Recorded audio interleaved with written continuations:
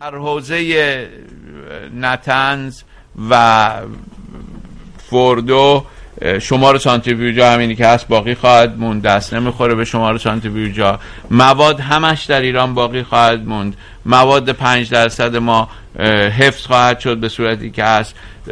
20 درصدمون ما برای راکتور تحقیقاتی تهران نیاز داریم که این مواد رو تبدیل به سوخت بکنیم این روند ادامه پیدا خواهد کرد بر اساس برنامه‌ای که خود ما داشت. این واقعیتیه که الان در سند هم اومده هیچ برنامه ایران تعطیل نخواهد شد.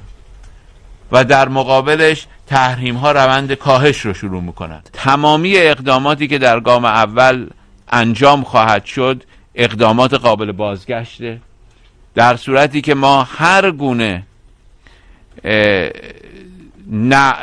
بدقولی نقض عهد از طرف مقابل ببینیم که امیدواریم چنین نباشه امکان بازگشت وجود داره. بر اساس سندی که ما در پیش رو داریم برخی تحریم ها کاملا برداشته میشن. مثل تحریم پتروشیمی مثل تحریم طلا مثل تحریم فلزات گرانبها مثل تحریم خودرو. برخی تحریم ها هر گونه تحریم جدید متوقف میشه. هیچ تحریم جدیدی ایجاد نخواهد شد. برخی تحریم ها از افزایش پیدا نمی‌کنه.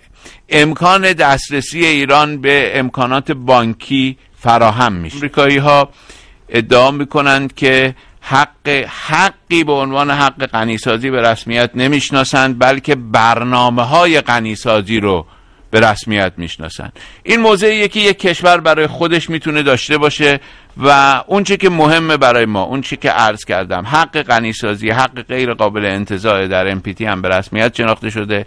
تفسیری که آمریکا از NPT داره مورد قبول اکثریت قریب به اتفاق جامعه بین المللی نیست. هیچ جای معاهده راجع به نیروگاه هم صحبت نکرده. هیچ جای معاهده راجع به راکتور تحقیقاتی هم صحبت نکرده. هیچ جای معاهده راجع به هیچ گونه برنامه هسته صحبت نکرده. لذا اونچه که ما میشنویم فقط مغلط است. مردم ما هیچ اعتمادی به دولت آمریکا ندارند و ضرورت داره که دولت آمریکا با رفتار خودش تلاش بکنه لاعقل به این بیاعتمادی دامن نزنه این بیاعتمادی رو افزایش نده. زمان امتحان فرا رسیده. برنامه غنیسازی ادامه خواهد داشت. تولید اورانیوم غنی شده پنج درصدی در کشور به شکل گذشته ادامه پیدا می‌کنه. هیچ یک از مراکز غنیسازی ایران تعطیل نخواهد شد. هم فردو و هم نتنز به کار خودشون ادامه خواهند داد. برنامه آب سنگین ما در عراق ادامه پیدا می‌کنه. با همین وضعیت کنونی. هیچ ماده ای از کشور خارج نخواهد شد. تمام مواد غنی شده در ایران باقی میمونه. و در کنار اینها هیچ تحریم جدیدی علیه ایران تحمیل نخواهد شد و سای و تحریم های موجود هم به سمت کاهش پیش خواهد رفت. امکان دسترسی ایران به منابع مالیش که به صورت غیرقانونی و به ناحق از ایران سلب شده بود باز خواهد گشت و این رو ما از روز اجرای این برنامه که بعد از انجام هماهنگی های لازم برای ایجاد شرایط لازم برای اجرا که ممکنه دو سه هفته طول بکشه از سوی طرف های مختلف این توافق انشاءالله ما شاهد وضعیت جدید خواهیم بود.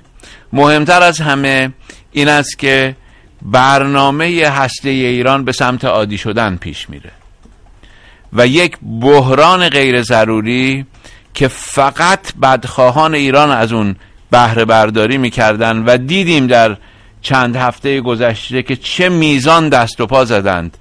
که از توافق جلوگیری بکنند به یاری خدا و با تلاش همه دستن در این بحران به سمت حل شدن پیش میره.